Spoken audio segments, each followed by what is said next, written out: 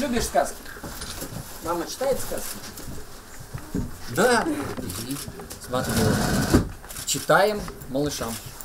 Депутаты «Единой России» собрали и передали детские книги семьям, приехавшим с Донбасса в рамках акции «Книги Донбассу».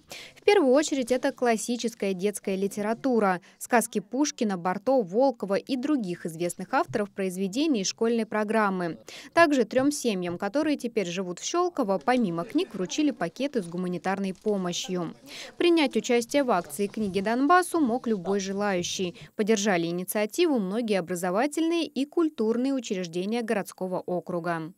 Общественность присоединяется к тому, чтобы э, собрать э, и оказать им на первых порах гуманитарную помощь. Э, а как раз помимо книг мы вручили и сладкие подарки вот детям, и средства гигиены, и продукты, ну, для того, чтобы им сегодня не ощущать себя брошенными.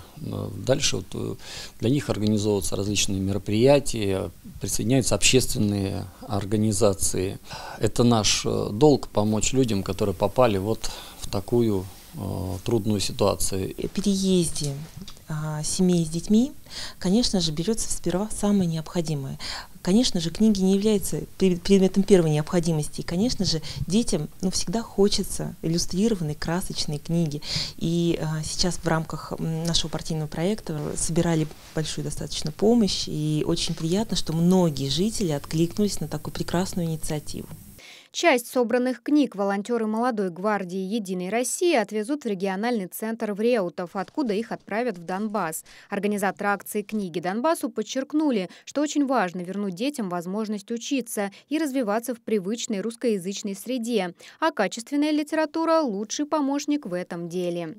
Мария Буржинская, Валерий Жиглей, Щелковское телевидение.